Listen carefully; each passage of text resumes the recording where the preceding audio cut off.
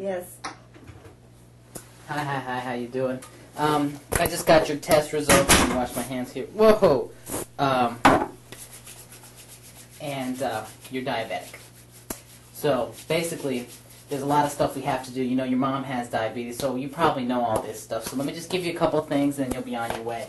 First thing is you need to get this uh, prescription. You take it to the pharmacy, and the pharmacist will know what to do. It'll tell you how to do that. Second thing is I need you to take uh, that medicine. I need you to go visit an eye doctor, a foot doctor, and a nutrition doctor, and I would like you to have that done in the next two months. The other thing is the hemoglobin A1C will tell you all about your diabetes. That test has to be repeated in three months. This time it was high. We want to bring it down. And then the last thing is, you know, your mama has diabetes, so all that stuff that she does with the glucometer and all that, I want you to do that too.